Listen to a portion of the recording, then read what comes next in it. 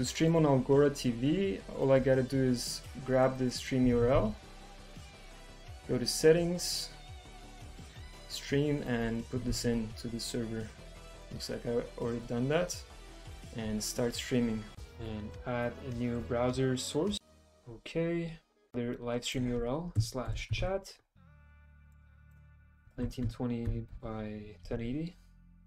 And make it a bit bigger. And place it over here. So we have the chat overlays now. As requested by Andreas.